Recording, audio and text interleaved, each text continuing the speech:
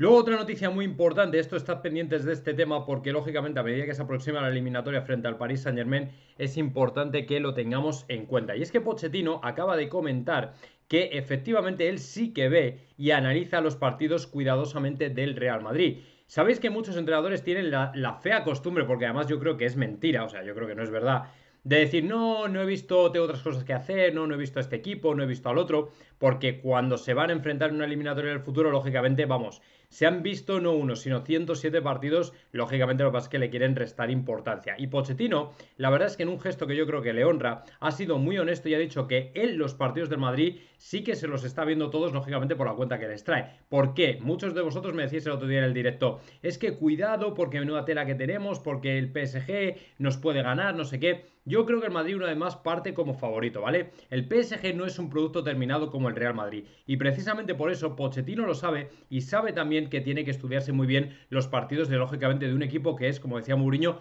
un producto terminado. O sea, el Real Madrid realmente a día de hoy es un equipo que si tú te das cuenta, la manera en la que juega lo hace casi de memoria. Porque empezando por la espina dorsal, que es el medio del campo, a partir de ahí ya prácticamente no hay fallas, no hay lagunas, porque todo el mundo sabe lo que tiene que hacer, ¿me entendéis?